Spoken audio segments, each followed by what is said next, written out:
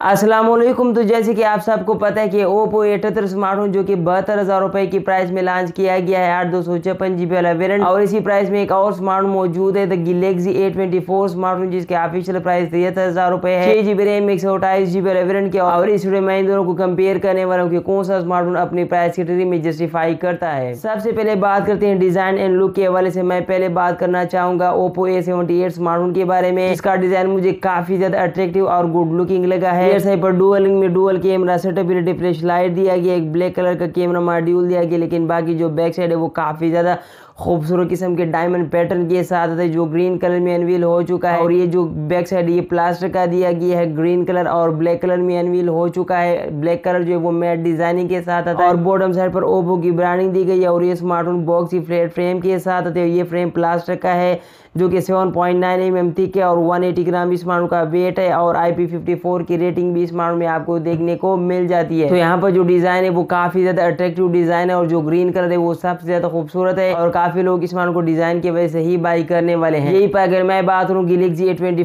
की तो स्मार्ट का जो डिज़ाइन है, बहुत ही फेमिलियर है। रियर साइड पर triple camera setup refresh light दिया गया और जो बैक साइड है, वो ग्लॉसी फिनिशिंग के साथ आता है और ये स्मार्ट का जो बैक साइड है, वो भी प्लास्टर का ही दिया गया है, जो कि ब्लैक कलर ग्रीन कलर और ब्लू कलर और इसके अलावा एक डार्क रेड कलर में भी अनवील हो चुका है और बॉटम साइड पर सैमसंग की ब्रांड दी गई है। स्मार्ट भी एक बॉक्स फ्लेट फ्रेम के साथ प्लास्टिक का फ्रेम है जो कि 8.3 पॉइंट mm थिक और 195 ग्राम स्मार्टफ़ोन का वेट है और ये स्मार्टफ़ोन एक साइड फिंगरप्रिंट स्कैनर के साथ यहाँ पर अगर मैं बात करूँ ओवरऑल बिल्ड क्वालिटी की तो दोनों एक जैसे ज़्यादा डिफरेंस नहीं है बट यहाँ पर जो ओप्पो ए सेवेंटी एट है, उसमें आपको आई पी फिफ्टी थ्री की रेटिंग दी गई है, जो कि डस्ट और स्प्लैश रेजिस्टेंस होता है। तो इस वजह से मैं समझता हूँ कि ओप्पो ए जो है, वो इस वजह से एक फीचर की वजह से ज़्यादा सुपीरियर है। Over the Samsung Galaxy A twenty four और मैं ओप्पो ए सेवेंटी एट को विनर करार देता हूँ। डिस्प्ले वाइज दोनों स्मार्ट में काफ़ी ज़्यादा सिमिलरिटीज पाई जाती है। Like Oppo A seventy eight में दिया गया six point four three inch का एक एच डी प्लस रेजोल्यूशन वाला एक सुपर एमुलेट डिस्प्ले जो कि नाइन ईयर्स के हाई रिफ्रेश के साथ आता है। एक लेफ़्ट लाइन पाँच कैमरा दिया है और ये smartphone under display fingerprint scanner के साथ आता है। यही पर अगर मैं बात करूँ ए ट्वेंटी फोर स्मार्ट की तो इस स्मार्ट में दिया गया सिक्स पॉइंट फाइव इंच का एक full H D plus resolution और एक सुपर एमुलर डिस्प्ले जो कि नाइन ईयर्स के हाई रिफ्रेश रेट के साथ है और ये स्मार्टफ़ोन एक ड्यू ड्रॉप नॉच के साथ आता है और साइड फिंगरप्रिंट स्कैनर आपको देखने को मिल जाता है। तो अगर मैं यहाँ पर बात करूँ कंपेरेटिवली तो यहाँ पर ओप्पो ए सेवेंटी एट ज़्यादा बेहतर है। एक तो इसमें पाँच वोल्ट कैमरा दिया गया है। अंडर डिस्प्ले फिंगरप्रिंट स्कैनर है और ऊपर से फ्रंट पर गोरला ग्लास की प्रोटेक्शन है और एक हज़ार रुपए सस्ता भी है और मार्केट पर ओप्पो पर ज़्यादा डिस्काउंट मिलता है तो डिस्प्ले वाइज जो है वो ओप्पो ए सेवेंटी एट ज़्यादा बेहतर है। लेकिन परफॉर्मेंस में जो बाजी है वो पलट जाती है। ओप्पो ए सेवेंटी एट में दिया गया स्नैपड्रैगन सिक्स एटी का प्रोसेसर जो सिक्स एन एम पर बेस है और ये डिनो छह सौ दस का जीपीयू दिया गया। स्मार्टफ़ोन आठ दो सौ छप्पन जीबी वाले वेरियंट के साथ आता है। U F S two point two का स्टोर टाइप है। एंड्राइड थर्टीन के साथ कलर थर्टीन का वर्जन आपको देखने को मिल जाता है। परफॉर्मेंस सेगमेंट में आपको ये जो प्रोसेसर ये बिल्कुल भी इस प्राइस में जस्टिफाई नहीं करता। कमज़ोर प्रोसेसर है, गुजार लाइक प्रोसेसर है, सिर्फ़ डे टू यूज़ में तो बेहतर है, लेकिन हैवी यूज़र के लिए प्रोसेसर जो बिल्कुल भी नहीं बनाया गया है। गलेक्सी एन ट्वेंटी फोर का जो प्रोसेसर मुझे काफ़ी पावरफुल लगा है।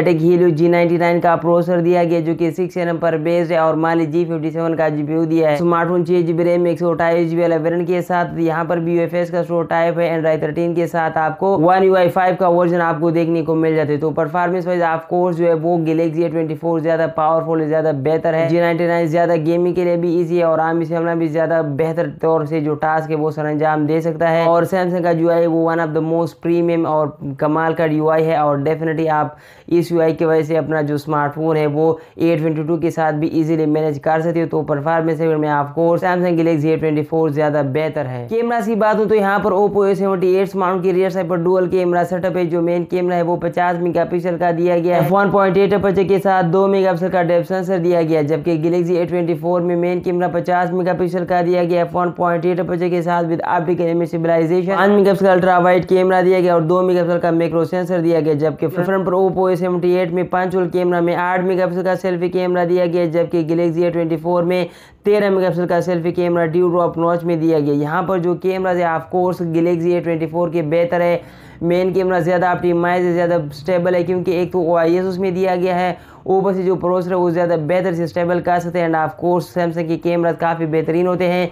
और जो फ्रंट वाला है, वो भी ज़्यादा यहाँ पर बेहतर है, ज़्यादा मेगापिक्सल काउंट के साथ आता है।